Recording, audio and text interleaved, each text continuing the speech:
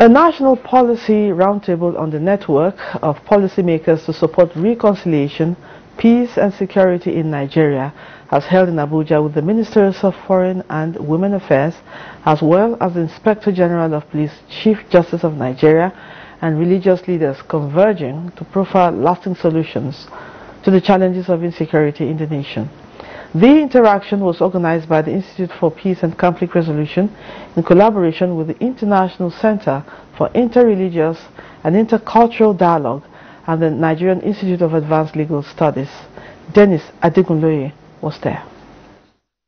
Freedom from fear, want and the attainment of human dignity are the three cardinal objectives of this policy formation roundtable and key issues have been identified in achieving these to achieve sustainable peace, security and development in any community, the people must be integrated at the conception, implementation, monitoring, and reporting strategies.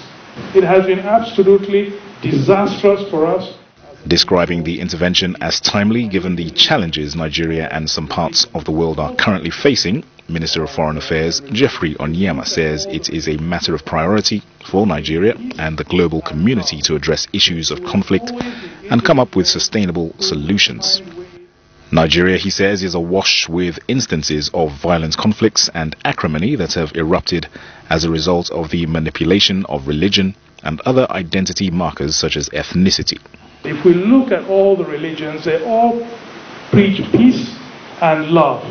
But there will always be individuals who will find ways of manipulating uh, religion to create conflict. When we use religion and embrace religion as it is meant to be embraced, it is a tremendous force for good. When people are poorly educated, they can be miseducated. It is often said that any society or community that seeks peace must, as a matter of necessity, pay adequate attention to peace building in its drive towards attainment of security and development. For Dame Pauline Tallen, the way forward is straightforward. Four women out of maybe 50 men. Are we doing justice to this discussion? if we want to be sincere to ourselves.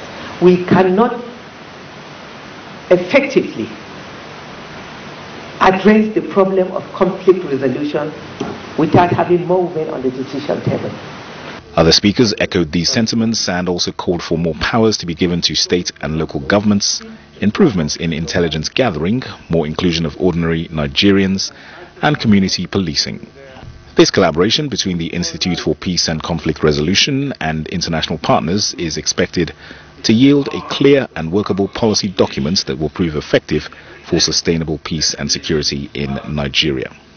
In Abuja, Dennis Adegunloye, NTA News.